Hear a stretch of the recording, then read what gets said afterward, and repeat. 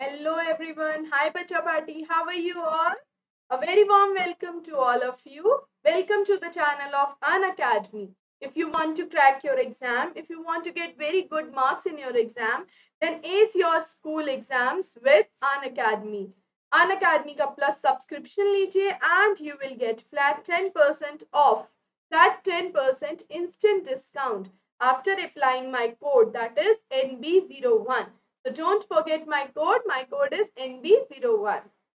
Welcome to my class everyone. Dear learners, I am your science educator. I am Neha Bansal. I have done BSc, B.Ed, NTT, PTT and have 6 years of experience. I have mentored more than 4000 students. Today we are going to start our new chapter that is electricity and circuits. We are going to discuss this chapter in detail. So content, uh, what are the topics we are going to cover in this chapter? Introduction, electric cell, a bulb connected to an electric cell, an electric circuit, electric switch, and electric conductors and insulators. These are all the topics we are going to cover in detail. So introduction, electricity is a very clean form of energy. बेटा electricity जो है एक बहुत ही clean form है energy की. It is produced as at power station ये power station बड़े बड़े पावर स्टेशन होते हैं पावर plants होते हैं, जहाँ पे इलेक्ट्रिसिटी प्रोड्यूस की जाती है और पूरे सिटी में विलेजेस में, ठीक है, सब जगह वो इलेक्ट्रिसिटी थ्रू वायर्स वो प्रोवाइड की जाती है राइट पावर स्टेशन में इलेक्ट्रिसिटी जो है वो वाटर से भी प्रोड्यूस होती है, ठीक है? मैक्सिमम जो है इलेक्ट्रिसिटी वो पानी से ही प्रोड्यूस की जाती है राइट तो it is very useful but kit it can also be very dangerous useful कैसे है बेटा? आपको भी पता है। अगर आप अंधेरे में देख पाते हो दैट्स बिकॉज़ ऑफ़ इलेक्ट्रिसिटी आपके घर के हाउस होल्ड वर्क जैसे मम्मी काम कर रही है, ठीक है? अगर वॉशिंग मशीन नहीं होती इलेक्ट्रिसिटी नहीं इन्वेंट की गई होती वॉशिंग मशीन नहीं चल रही होती तो मम्मा आपकी हाथ से कपड़े धो रही होती। That is much time consuming ठीक है? और हार्ड वर्किंग बहुत ज़्यादा हो जाता है। इलेक्ट्रिसिटी की वजह से हम कितनी सारी चीज़ें पॉसिबल कर पाते हैं। इलेक्ट्रिसिटी की वजह से ही मैं आपसे इस तरह से वर्चुअल आपसे मीटिंग्स ले पा रही हूँ, आपको चैप्टर समझा पा रही हूँ। दैट्स बिकॉज़ ऑफ़ इलेक्ट्रिसिटी ठीक है? तो सारी चीज़ें हमारी जो हमारी जो डेली लाइफ की चीज़ें हैं, बहुत सारी ऐसी चीज़ें हैं जो इलेक्ट्रिसिटी पे डिपेंड करती है। आप अपने फ़ोन या लैपटॉप के थ्रू अगर देख पा रहे हो दैट्स बिकॉज़ ऑफ़ इलेक्ट्रिसिटी अगर इलेक्ट्रिसिटी नहीं होगी तो फ़ोन का फ़ायदा क्या? फ़ोन चार्ज ही नहीं होगा। राइट हम कितना चार्ज कर लेंगे? पावर बैंक को भी चार्ज करने के लिए इलेक्ट्रिसिटी की ज़रूरत होती है ना बेटा?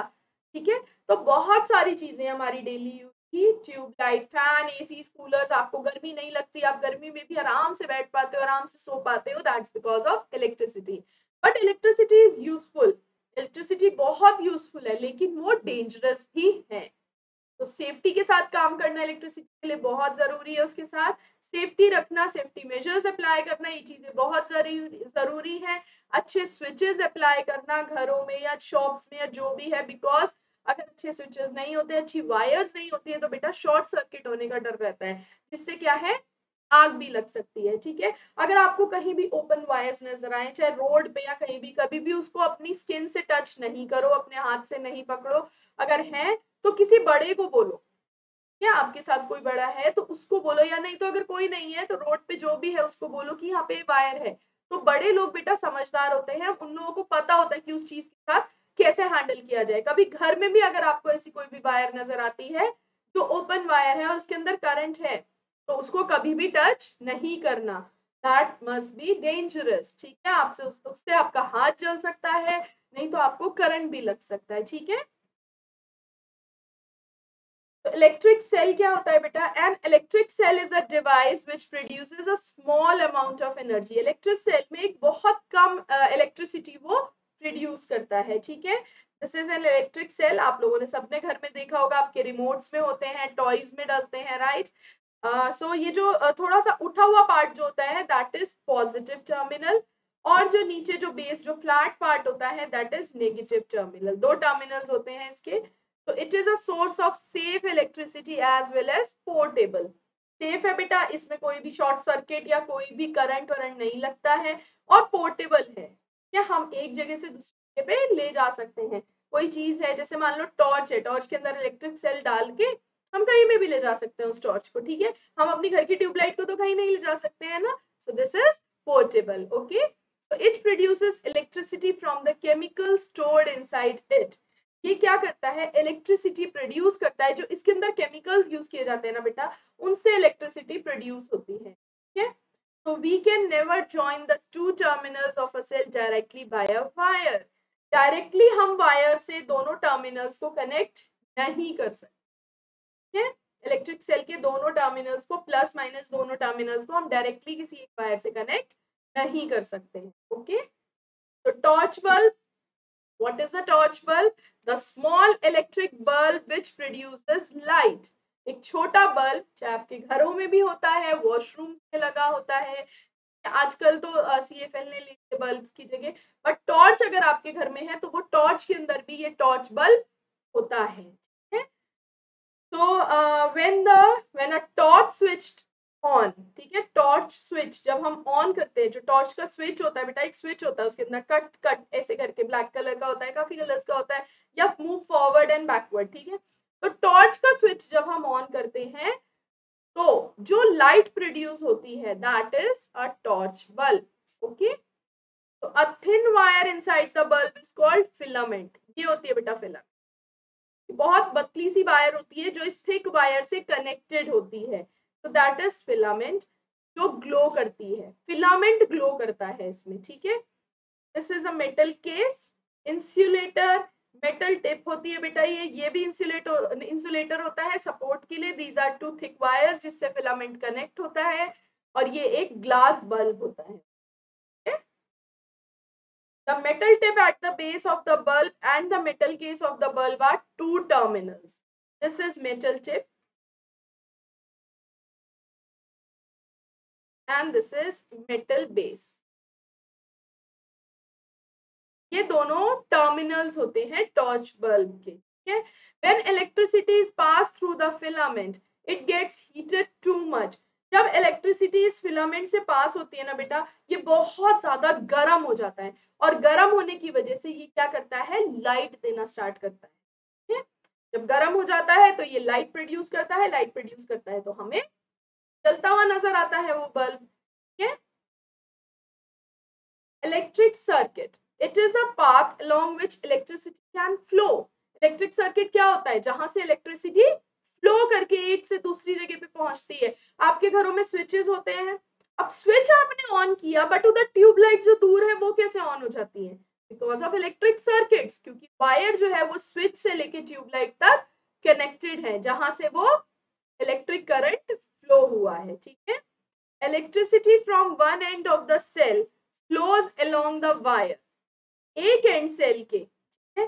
प्लस यहाँ पे प्लस टर्मिनल है, ठीक है? Always electricity flows from plus to minus positive terminal to negative terminal negative से पॉजिटिव कभी नहीं आती है, ठीक है?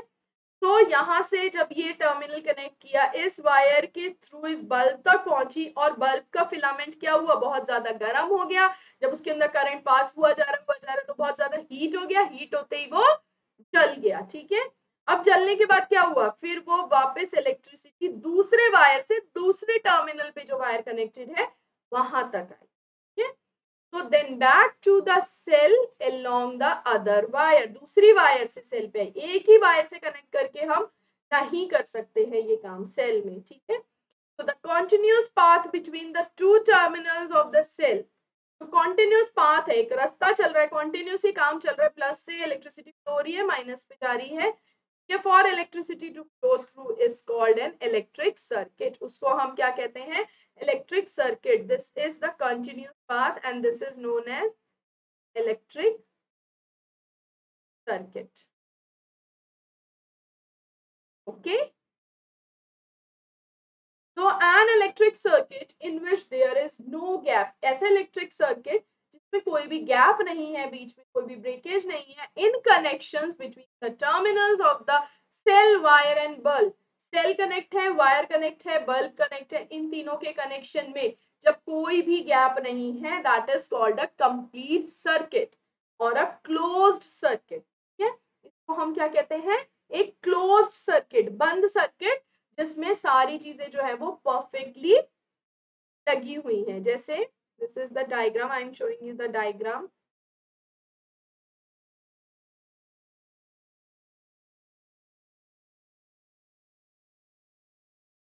lines draw सही नहीं हो पा रही हैं। बट कोई बात नहीं I am trying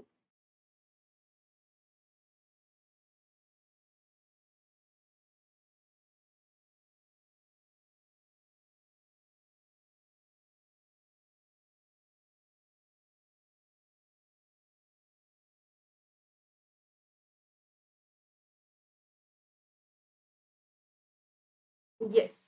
This is positive terminal बेटा this is negative terminal of an electric cell ठीक है? This is a bulb right ये बल्ब का सिंबल होता है and these are switches okay so electricity मैंने आपको बताया पॉजिटिव से नेगेटिव की तरफ़ फ्लो करती है। तो जब यहाँ से इलेक्ट्रिसिटी फ्लो करेगी तो ये इलेक्ट्रिसिटी को जाने के लिए रास्ता मिल गया, एक क्लोज सर्किट है। ये this is a switch okay यहाँ से फ्लो किया, यहाँ पे आई, यहाँ से इस वायर के थ्रू से कहाँ पे आ गई? ये इलेक्ट्रिक बल्ब में आ गई। ये फिलामेंट है इसका। ये ग्लो कर जाएगा। फिलामेंट ग्लो करके फिर ये दूसरे वायर से, दूसरे वायर से क्या हुआ? इलेक्ट्रिसिटी फिर वापस आई और वापस आके ये negative terminal so this is a closed circuit ये बंद सर्किट है। यहाँ पे कोई भी गैप नहीं है बीच में। इलेक्ट्रिसिटी बहुत आराम से फ्लो होके फिर से वापस आ रही है, ठीक है? तो the electric circuit in which there is a gap जहाँ पे गैप होता है, बेटा उसका मतलब था स्विच ऑन है। जैसे ही हमने स्विच ऑन किया, वो बंद हो जाता है जो उसका गैप होता है। मैं अभी दिखाऊँगी जब ये इनकम्प्लीट सर्किट में ड्रॉ करूँगी, ठीक है? तो the connection between the terminal of the cell wire and the bulb उससे क्या होता है, इन तीनों के बीच में कोई भी एक कनेक्शन जो है वहाँ पे गैप होता है, उसकी वजह से ये ओपन सर्किट रह जाता है और इनकम्प्लीट सर्किट होता है, जैसे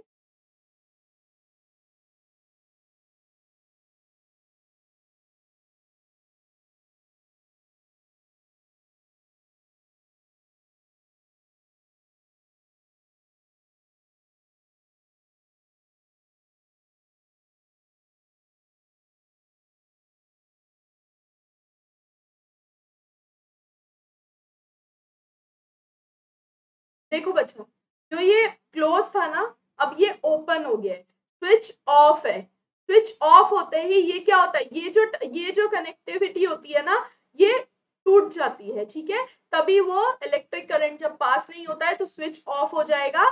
स्विच को जब हम बंद कर देते हैं तो इलेक्ट्रिक करंट जो है वो फ्लो जो है वो रुक जाता है। इसीलिए स्विच ऑफ़ हो जाता है। स्विच ऑफ़ करते ही लाइट्स हमारी बंद हो जाती है। फ़ैन हमारा बंद हो जाता है। क्योंकि इनके बीच में जो कनेक्शन होता है ना वो ब्रेक हो गया, वो रुक गया। कैसे? इलेक्ट्रिसिटी पॉजिटिव टर्मिनल से नेगेटिव तक फ्लो करती है। यहाँ पे जाएगी, यहाँ पे आएगी, इसके बाद इसको आगे फ्लो करने के लिए कोई जगह, कोई वायर कनेक्टेड ही नहीं है तो कैसे फ्लो करेगा? बिकॉज़ ये ओपन सर्किट है तो ये इलेक्ट्रिसिटी सिर्फ़ वहीं तक ही रह जाएगी और ये बल्ब जो है वो ग्लो नहीं करेगा। Okay bulb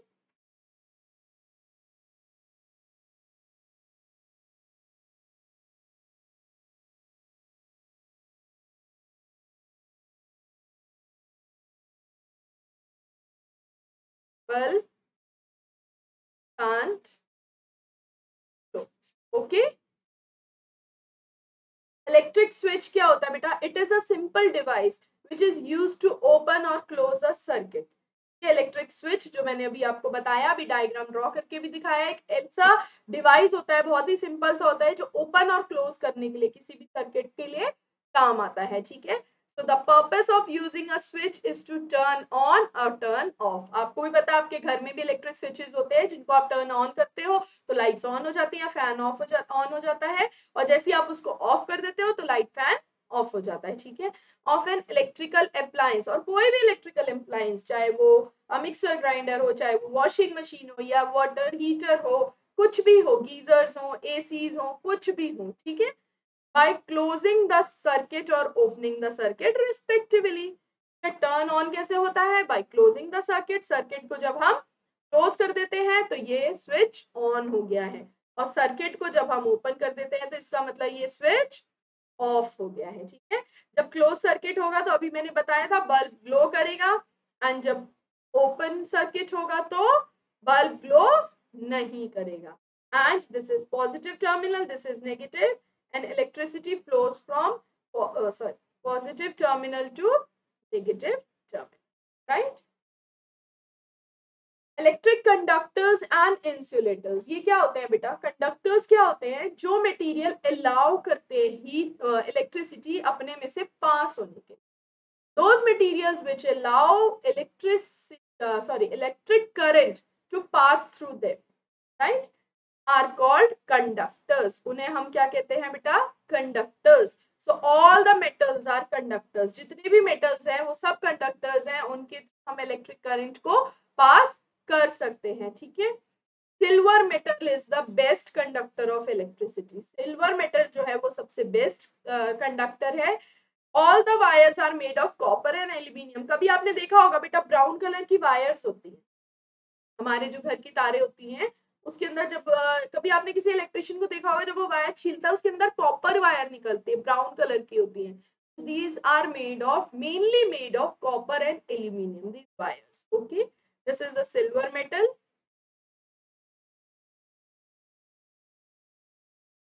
and these are copper wire, okay?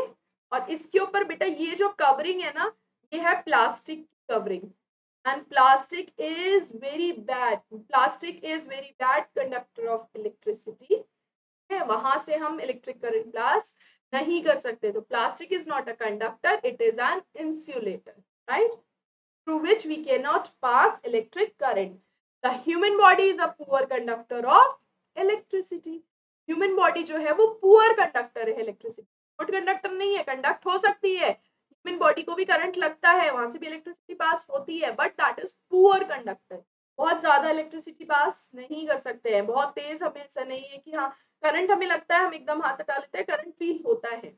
तो लेकिन वो बहुत कम होता है बेटा इलेक्ट्रिक करंट बहुत कम इलेक्ट्रिसिटी हमें फील होती है, ठीक है?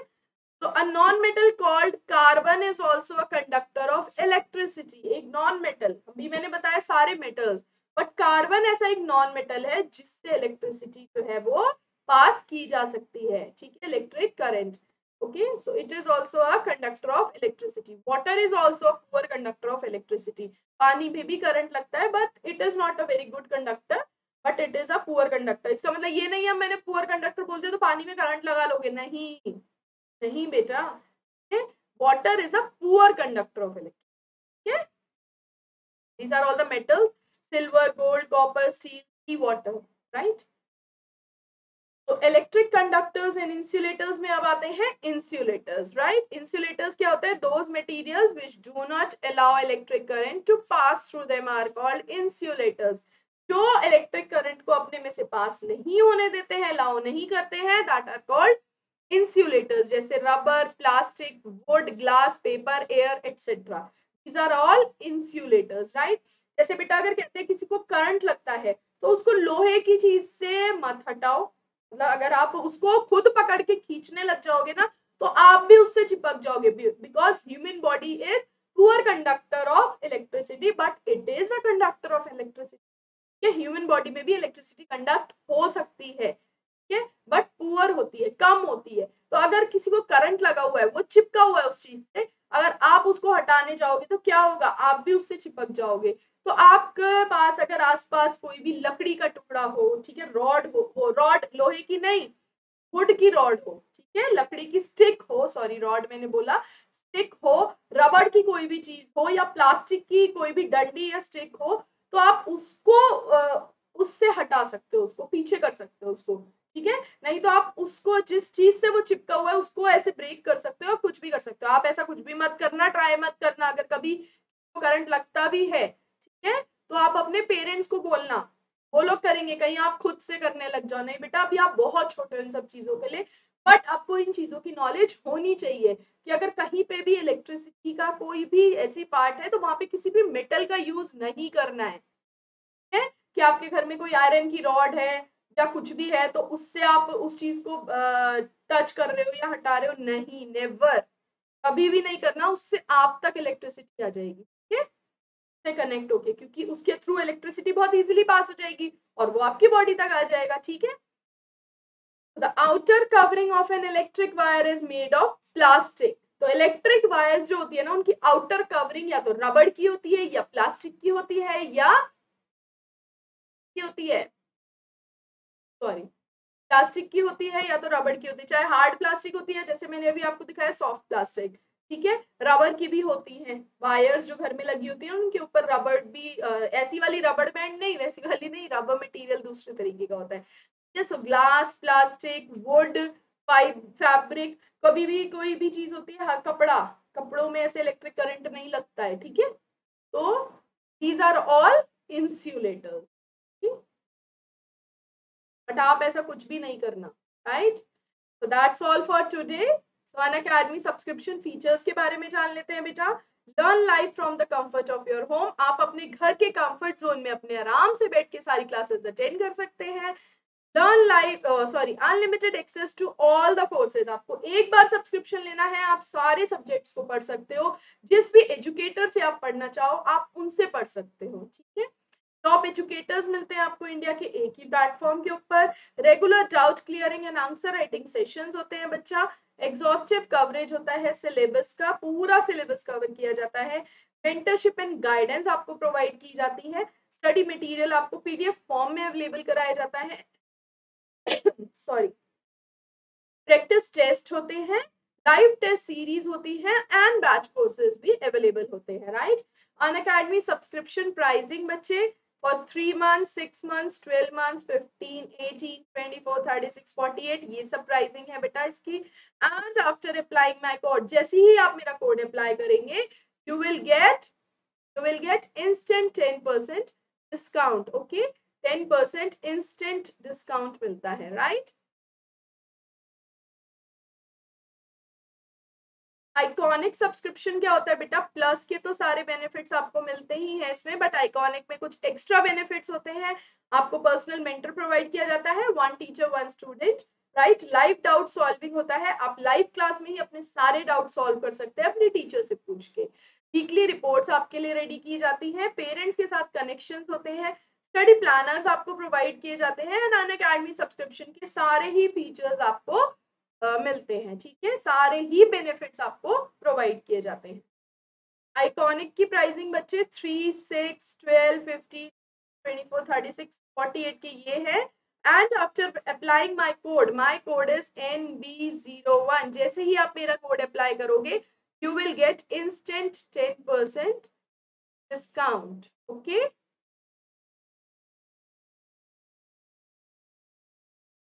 तो अगर आपको मेरी वीडियो अच्छी लगी हो तो लाइक करना नहीं भूलना है, लाइक ज़रूर करें, शेयर करें अपने फ्रेंड्स एंड फैमिली मेंबर्स के साथ एंड सब्सक्राइब करें मेरा चैनल बेल आइकन पे क्लिक करें सो so दैट आपको मेरी वीडियो की नोटिफिकेशन सबसे पहले मिल सके। तो like share and subscribe and let's crack it with Unacademy bye all of you take care bye